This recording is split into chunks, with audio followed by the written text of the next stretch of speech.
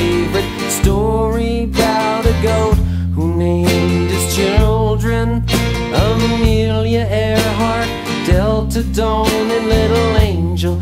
He wondered why he chose those names on and on.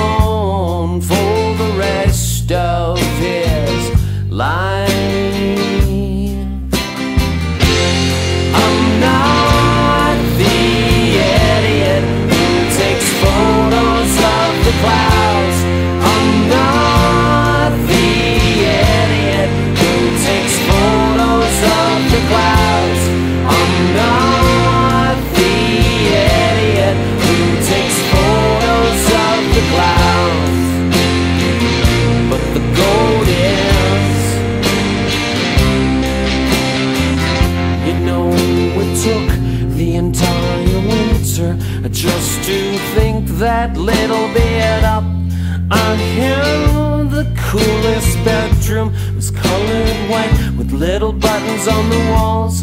They kept the door chained on the outside just to feel safe. Well, ain't it great to be alive?